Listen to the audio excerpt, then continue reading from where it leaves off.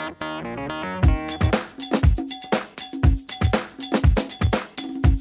the hand there and the, with the cap on your hand is right up, yes. Well, Hi, thank you. Uh, I'm a reporter with wearechange.victoria.org. And just in light of the, the last question here, I want to ask you, in terms of jobs and the, the, the pipeline debacle, um, where would you stand in terms of helping our economy with the reindustrialization of hemp products in Canada? So being that it can be used for petrol, plant-based petroleum products, we can use it to, for carpet, we can create the chassis of an automobile with hemp. But they've outlawed hemp for the last 60 years or so. If you support hemp industrialization in Canada, what steps would you take to, to grow this avenue for, for new uh, uh, income? Okay, well, it, it happens that at my party policy, and I personally support the legalization, taxation, and regulation of cannabis, period. At the same time, the non-THC hemp has tremendous potential for non-tree paper, for all kinds of materials from fabric to, as you say, to, to chassis. And it, it, for parts of Canada's uh, agricultural sector that's really, particularly tobacco farmers, southern Ontario tobacco fields, hemp is a perfect substitution crop as more and more farmers want to get off growing tobacco and on to growing non-THC hemp. The, the kind of uh, reefer madness laws that make no sense make it very hard to also have the industrial hemp activity taking place. So I'm entirely in favor of uh, uh, getting rid of silly laws, and that would also allow us to have law enforcement agents, agencies uh, prioritize their work in law enforcement on things that actually are a threat to public safety and security. And it's not saying um, in any blanket way that, I know your question was about non-THC hemp, but in terms of cannabis, personally I think there are health risks with cannabis and we should not be promoting uh, the use of cannabis. But in the same way, we don't promote the use of tobacco, but it's legal, and we don't promote excess alcohol consumption, but it's legal, and we should treat cannabis exactly the same way. So that would, I think if we regulate, legalize, and tax cannabis at the same time that we start exploring all the various ways that hemp can be used as part of um, a new industrial sector, it'll all get a lot more straightforward. So yes, you can yellow back there. I've been hearing a lot of rhetoric about uh, nuclear weapons in the Middle East and the proliferation of them and all the rest of it. And I'm not hearing anything about nuclear power plants, which Canada is great for producing. We've got over 400 worldwide leaking.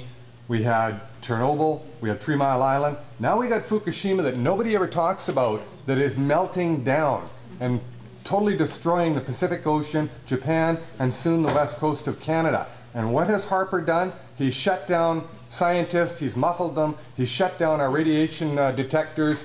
What are you doing to turn this around so the people of Canada are made aware of what is really going on to our planet? Well, I, well, first of all, I'm glad you asked the question. Uh, nuclear proliferation for weapons is also very closely tied to the spread of what's so-called peaceful nuclear energy.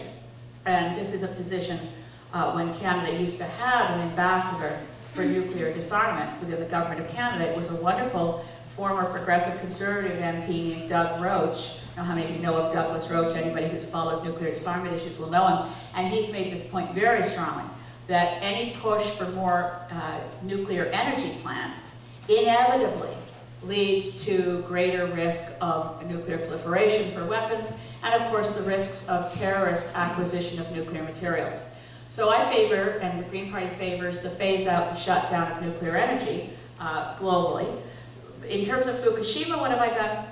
I did put out, uh, we're the only, I'm the only MP, I think, that's put out any press releases at all. Not that press releases really help, goodness knows, but because they don't get any coverage once we put them out. But I did call for, at the time Fukushima was happening, for public monitoring, for public information in Canada. Canadians were getting much less information than US citizens.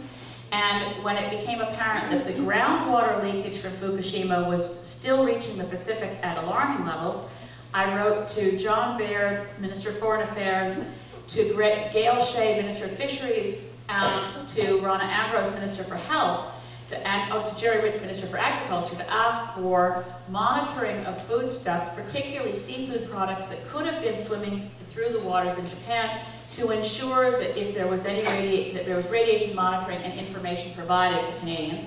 Um, arrange, they're all, all of the things that I, I haven't yet, I double checked because Fukushima has been coming up at other town halls. So I double checked with my office in Ottawa. I haven't had any response from any of the ministers to whom I wrote back in August about what we were seeing happening with Fukushima. But the letters and the efforts are on the website. I'm grateful that it gets raised in the town halls because then when I go back to Parliament, I can say, look, people in my community want to know what is this government doing. I will tell you that in terms of my background and knowledge on radiation, I don't think that we need to panic about our food now. I was very concerned, at the time Fukushima was happening, uh, there were a lot of airborne radiation that could have been affecting milk and dairy products. We weren't monitoring for it, we should have been, we should have been providing some cautionary advice to Canadians. Right now, I think there's reason to be concerned uh, in terms of seafood products, but we don't have any, looking at what they're getting from the United States, it still doesn't look as though we have any reason to be panicking. So don't panic, but we have a right to information and we're not getting it, so I'll keep pushing for it.